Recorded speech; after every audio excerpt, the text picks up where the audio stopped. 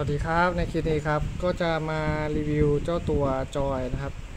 เป็นจอยเกลที่มีไฟ RGB นะครับ แล้วก็เป็นแบบบลูทูธนะครับบลูทูธไร้สาย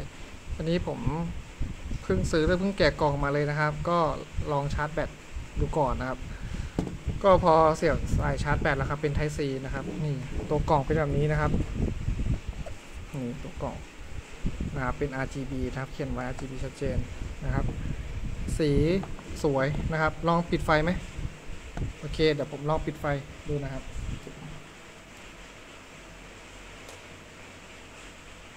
อ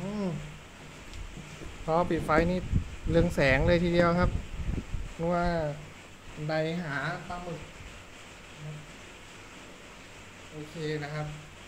สวยงามนะครับ สวยอะนะ สวยสวย ปุ่มกดก็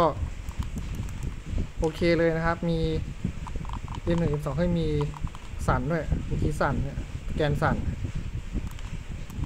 เมื่อกี้กดอะไรแปลว่าสั่นสั่นงืดๆเลยนะครับ สั่นแรงด้วยสั่นนิ่มๆเลยตรงนี้เลยสั่นเนี่ยรู้สึกเลยว่าตรงเนี้ยมันสั่นโอเคนะครับ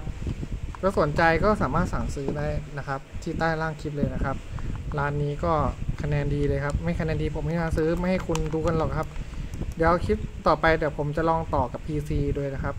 โดยจะต่อกับเครื่องเจ้านี้ครับ RGB ไม่ใช่ RGB ROG อะไรนะครับเดี๋ยวจะลองต่อกันว่าเป็นยังไงครับ